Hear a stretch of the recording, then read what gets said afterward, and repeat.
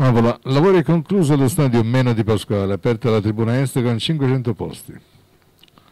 Lo stadio comunale Meno di Pasquale è ufficialmente agibile nella sua interezza e sono conclusi i lavori che vedono l'apertura della tribuna est per 500 posti.